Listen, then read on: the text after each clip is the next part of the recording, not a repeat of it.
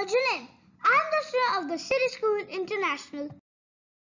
Today I am going to tell you the part 6 of wild weather. That is hurricanes.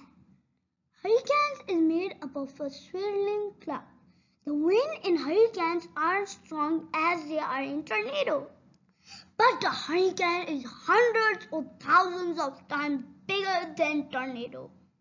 It brings the most powerful and extreme weather on earth.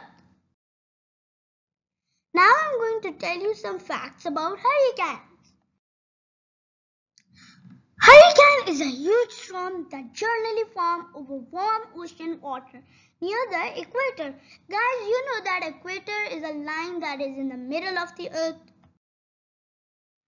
Hurricanes are called typhoons in the West Pacific hurricanes are called cyclone in the Indian Ocean.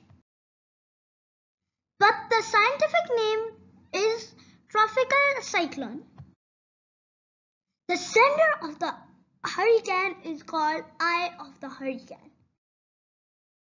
The eye wall surrounds the eye which consists of most damaging wind.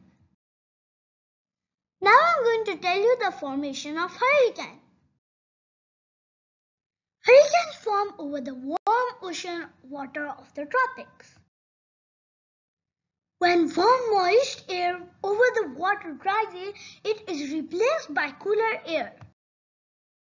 The cooler air will then form and start to rise.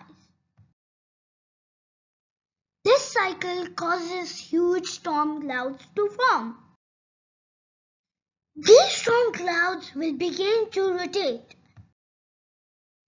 There is enough warm water, the cycle will continue and the storm clouds and wind speeds will grow causing a hurricane. Thanks everyone.